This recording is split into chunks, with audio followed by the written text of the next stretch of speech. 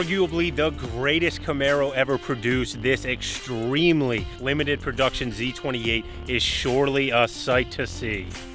A little bit dusty and the quarter panel's missing, but it's got potential, okay? In the first video, we tackled the mechanical side of the repairs on this Z28.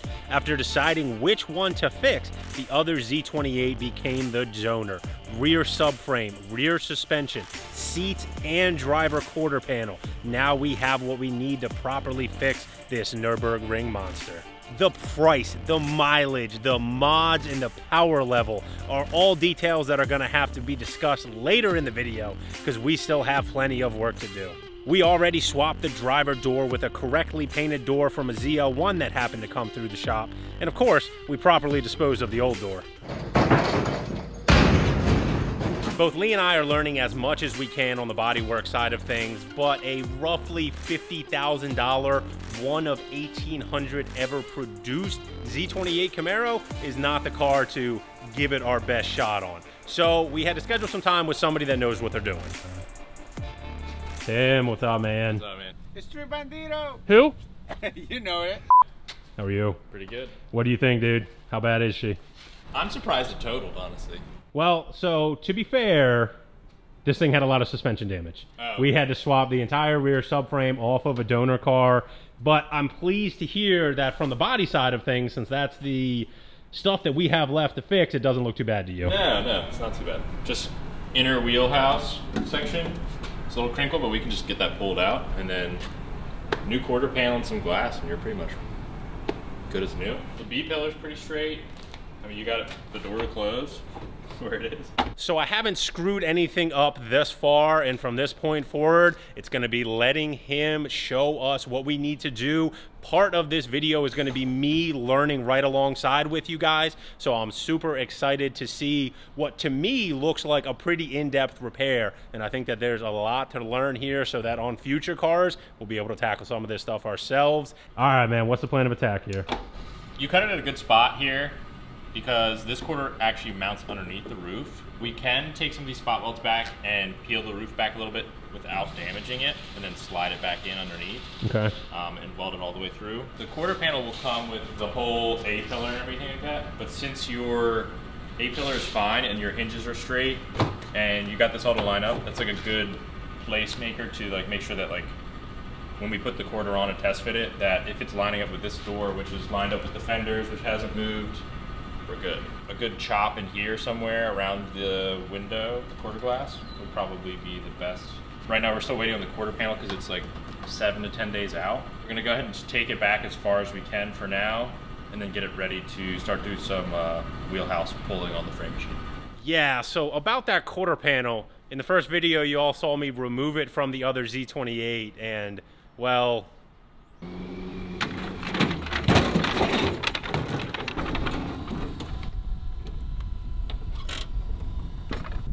should have strapped that down. Yeah, that'd have probably been a solid idea. Ooh. Yeah. It's so funny when you like start marking spot welds, how like not they're not like placed like evenly, and they're not like in the right spot. They're like kind of like in and out. And like uh, whatever.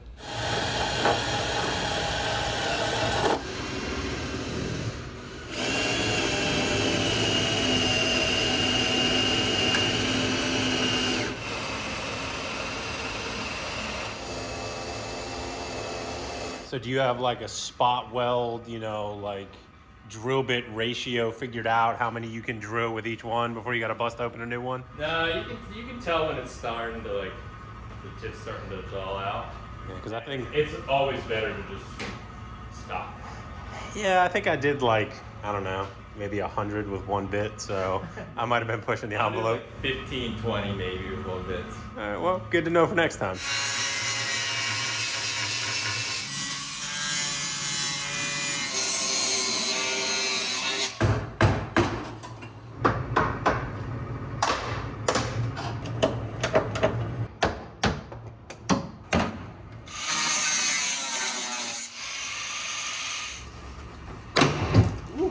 She is.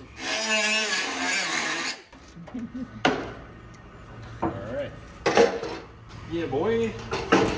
Find another VIN sticker. I was literally just thinking that's the only thing that is a little bit inconvenient about where this thing is damaged is that the uh, the VIN sticker is going to be on that panel. So I will have to hang on to that just for you know originality purposes. All right, look at that though. Cool. And so I, I cut it through this circle right here, so there's a nice locator. So on the new panel, I can find this exact cutout and then cut straight through it. We have these two holes for the lower door catch, which would be nice to line up. Same with the ones too for the actual door latch. So this is gonna be the biggest thing right here, pulling this mushed up uh, wheelhouse. I guess worst case scenario, if we have to get into replacing that, we'll just be looking at a lot more time, a lot more labor, but Yeah. obviously can be done if need be. Yeah, it's its own panel here, but it also sits behind this. So, yeah, gonna be a bit of a pain.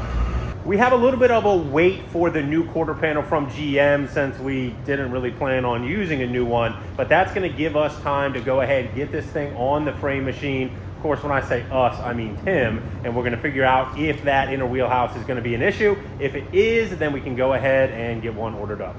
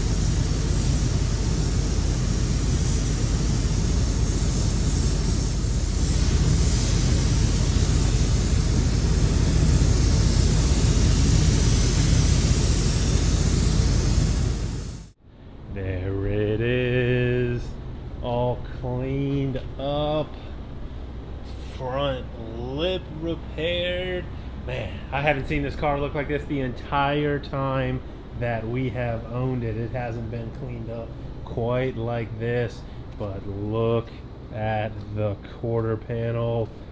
Oh, yes side skirt back on it. It is a complete car. I have the glass back at the shop. We are going to get that installed as soon as we get it back and get everything put together in the interior of the car. We have to take care of the airbag light. But man, look at this thing. Totally complete, put back together. I couldn't be more excited. Right on cue, the man, the myth, the legend. This thing's looking good. Need some glass. Man, she looks fantastic. Yeah. No, no more headaches, nothing crazy. Just, just the work putting it back together, huh? Yep, just putting it back together. Well, nothing dramatic. We just got to get the thing loaded back on the trailer, get it back to the shop, and get this all put back together.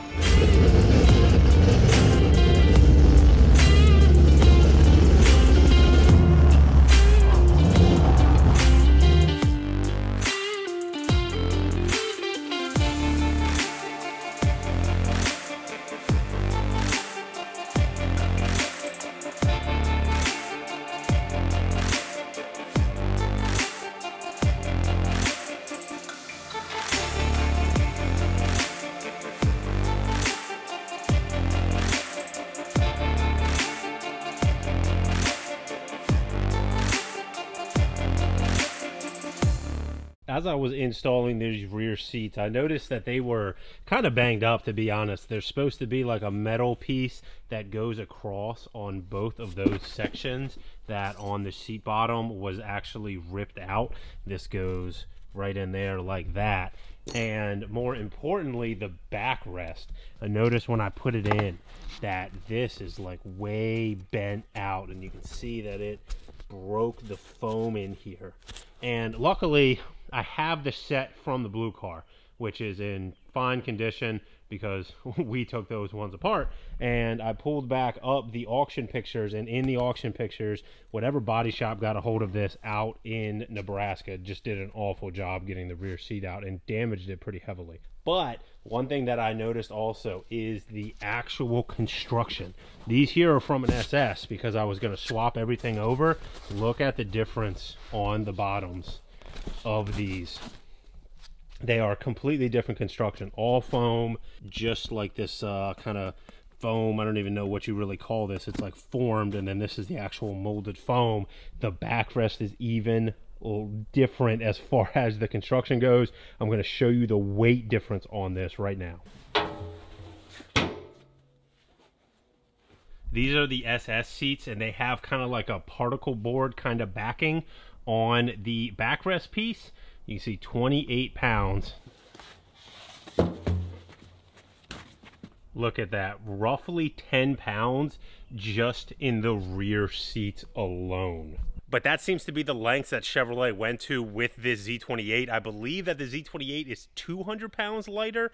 Could be 100 pounds. I believe it's 200 pounds lighter than any other Camaro 5th gen version. So you see 10 pounds is just in the rear seat alone with a little bit different construction. That's how they did it. It's a rainy, crappy spring day here in Maryland, but perfect opportunity for us to do something indoors, like put the Z28 on the dyno. So we're over here at Anderson Performance East, a local resource we've done some business with over the years. They specialize in a lot of pretty cool go fast stuff, and they have a dyno that we are gonna make use of today. The Z28 has some mods on it, upgraded cam, full exhaust, as you probably heard earlier in the video. So naturally, we're curious how much power this thing makes.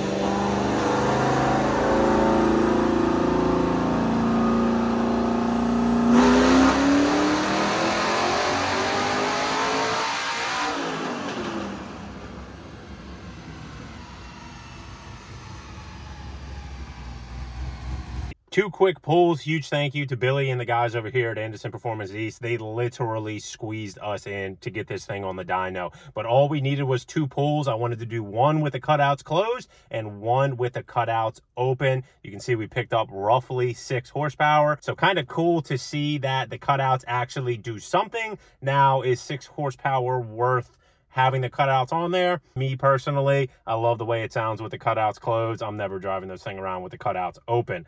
But now that we know how much power this thing makes, the last thing that we need to do is go over the numbers for this car. So let's head over to the shop and we'll do just that. And this is the section of the video where the comment section is going to blow up. Purchase price on this car. $40,865 with fees from Copart. Yeah, we paid that much for this car. And I'm going to explain why at the end of this. Transport, $1,200. Nebraska is not a super highly traveled trucking lane. It's pretty expensive to get cars from that area. This one, though, was special enough that it was worth it. You saw in video one that we took the entire rear subframe and put it into this black car. I did use the carbon ceramics and the brake calipers that came on this black car, but the entire rear subframe, which includes all the control arms, the cradle itself, diff, axles, struts, was from the blue car. But we were able to recoup a lot of the money from that rear subframe from the black car. So for example, we already sold the diff. We have all of the passenger side axles. I have the passenger side mag ride strut and the carbon ceramics and the calipers from the blue car were kept together as an entire set. So I only have $500 for the rear subframe and that's because we really only needed the suspension corner, the driver suspension corner, and the axle, even though I took the entire subframe, it's kind of one of those like offset type scenarios. And we have a couple examples of that on this car. The wheels is another one. I took the entire set of wheels from the blue car, but I'm only gonna say $750 because I have three OEM black excellent condition Z28 wheels that are listed for roughly eight, $900 a piece, which will ultimately sell for that. The people that want OEM ones versus the replica ones, they will eventually buy them because the supply on them is very, very low. The seats is another example, and this one was a little unexpected. I was expecting to be able to fix the seats that came in the black Z28. We knew it needed an airbag, but when they got here, the passenger seat, there was something wrong with the actual mechanism to lock the backrest. So it would go full recline or full incline like you would fold it to get into the rear seat. So that was going to be a problem. And then the driver seat frame was actually twisted a little bit, which you don't necessarily, you know, have to blame that on the accident. Sometimes if you get a bigger individual that's climbing in and out of it a lot, it will twist. It is possible from the accident that it twisted the backrest a little bit, but we went ahead, we just took the complete seats out of the blue car. The other set of seats from this car is essentially listed as a project set of seats. Somebody can, you know, put them in a resto rod type of car or, you know, go through, fix them up. We'll sell them, you know, obviously much cheaper than those Recaros normally go for. And uh, somebody can put them to use. So we have a little bit of offset, but I did add two grand here for the seats. Those Recaros are normally $3,500 for the SS's and they sell just like that. We have the side skirts and the rear fender flare from the blue car that are on here. I have $500 for both of those. And then I have $1,000 for the side curtain airbags, the seat belts, and the airbag module, which we were able to plug right into this thing. Luckily, the GMs, once everything's plugged in, airbag light goes right away. Didn't have to take it to the dealer to get it reprogrammed or anything like that, but we do have $1,000 in airbags in this car. The glass was 400 bucks to get it removed. That also includes removing the glass from the blue car so we could cut that quarter panel off that I ended up not using. The caveat there is that the Z28 rear glass is actually thinner than the OEM ZL1 and SS glass. So I have a rear glass for this car that at some point somebody is going to want. And that might kind of wipe out that cost there, but we're going to go ahead and include it for this video's purposes. Then we get on to the paint and body, which we have a grand total of $4,200 into. And that includes roughly 1300 bucks for a new OEM quarter panel. So my little forklift mistake ended up costing us a pretty penny. Which brings us to a grand total of $51,415.50. Now, I am going to add another $500 in miscellaneous expenses on the back end here, just for things like the dyno that you saw a little bit earlier. Um, I'm sure I'm missing something. So call it roughly $52,000 into this car. Now, at this point, you're probably saying that is way too much money into this car. And I don't think that you're wrong. Honestly, I think we're probably going to have to list this thing at about 60 grand to really make it worth our while to have purchased this vehicle. I don't think it's unrealistic that for the right buyer, maybe we can get to about 55.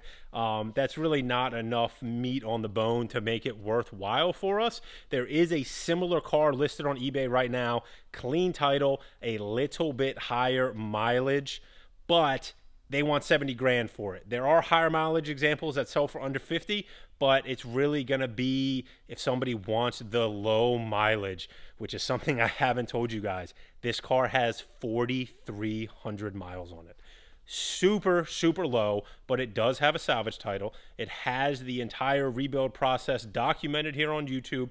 The buyer can see it. It's just going to depend if the title affects their mentality on it. Ultimately, yes, it affects the collectability of it. It's always going to be kind of a branded title.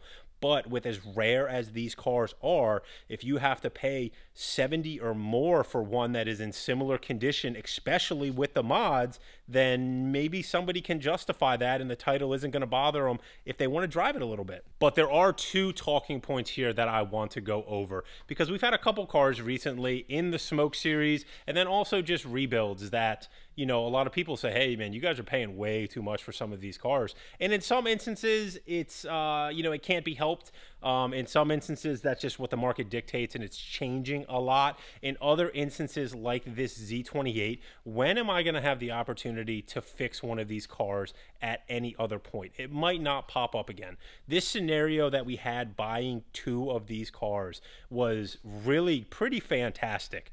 And the blue car that we bought from the Chicago area, we have far less money into. I think we have about 32 grand into that car, which makes a whole lot more sense considering that we got the carbon fiber hood extractor from it. The front bumper isn't anything special. Um, you know, it has the fog light deletes and things like that, but it's basically just a newer 1LE bumper. So you know, we didn't miss out on a lot of money on that car from the front end impact, and we had far less money into it. Point being that this car is so special and rare that we all kind of agreed that we just couldn't pass up on the opportunity. It was just really too special, and honestly, at that point, I didn't even know that there was only 1,800 of them. I can count on one hand the amount of times that I have seen one of these Z28s. They are just not out there. So to be able to do one, we're never going to have a better fifth gen Camaro to try to repair. We had to take the opportunity. The other point that I want to make is about an investment. And I don't mean, you know, just strictly financially. We are building a YouTube channel. A lot of you guys have been here along the way with us, which we greatly, greatly appreciate. But in order to do that, it's like building a business. There are areas where you have to make investments and you have to sacrifice. We committed ourselves to the two uploads every single week a long time ago. And that's something that just needs to be done and needs to be maintained. We can't get away from it. The feedback we've had from the viewers like you, they seem to like that. So in order to maintain that, we can't always get these smoking deals on cars. It's just not out there. The climate right now in the auto industry especially, and maybe even exclusively to salvage, is very different than it has been in the past couple years. So one way or another, we are committed to making sure that we are making regular uploads. And what comes with that is what you could pretty much chalk up to maybe a little bit of waste sometimes. And that's why you see a car like this that was just such a unique opportunity that we couldn't pass up on. And we were willing to take a little bit of financial expense in order to make it happen. That is a wrap for the Z28, though. Another project here around the shop that has been completed. All those people down in the comments that like to get on us about not finishing cars, we're doing it on some of them Others, they're just taking a little bit more time. This one, though, it is going to be up for sale here soon. Haven't exactly figured out the platform we're going to sell it on. The blower C5 Z06 that we found in a storage unit did extremely well on eBay Motors. We were very happy with that. The new owner is down south, I believe, Louisiana, and he absolutely loves the car. So, great situation for everybody. Great purchase price for the gentleman that bought it, and we were happy with what it sold for. So, always great when that works out out, but we have really not decided on where we're going to list this Z28 for sale. It is kind of the perfect time of year for as long as this project did draw out for seemingly as little work as it was. We were able to basically get to the time of year where we can take it around, do some, you know, cars and coffee type stuff, car show type stuff.